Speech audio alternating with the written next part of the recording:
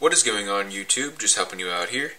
And for today's video, I'll be doing Chapter 27, Problem 23, in the Fundamentals of Physics textbook, 8th edition by Jearl Walker, Halliday, and Resnick. Chapter 27 is all about circuits, and in Problem 23, we have a system of three resistors, and we are asked to find the equivalent resistance of the system.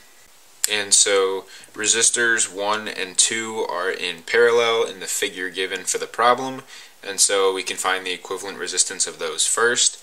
And so the equation for parallel resistors is 1 over R equivalent, so your equivalent resistance is equal to the sum of J equals 1 to N of 1 over Rj.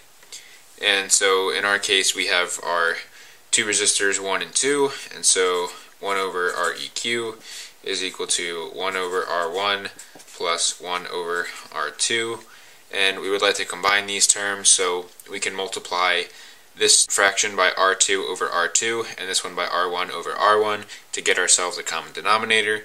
And that's going to give us R2 over R1 R2 plus R1 over R1 R2 and if we combine those two terms, that will equal R2 plus R1 over R1, R2.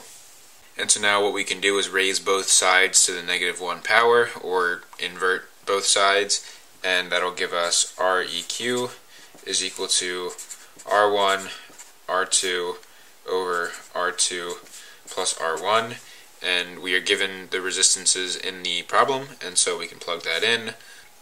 4 ohms times 4 ohms over 4 ohms plus 4 ohms. And if you plug that into a calculator, that should equal 2 ohms. And so now what we can do is we can treat resistor 1 and 2 as one resistor that has a resistance of 2 ohms that is in series with resistor 3. And so I'll actually call this REQ1.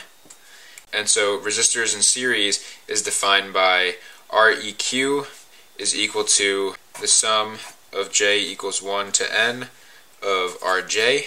And so that's going to be Req is equal to Req1 plus R3. And we just found Req1 here, and R3 were given in the problem. And so this is equal to 2 ohms plus 2.5 ohms. And so our overall Req for all three resistors is equal to 4.5 ohms. And so that's about it for this problem. If you found this video helpful, please drop a like, leave a comment if you have a question or an idea for a future video, and lastly, please don't forget to subscribe and tell your friends about my channel so I can grow and help more of you guys out. I'm just helping you out. See you in the next video.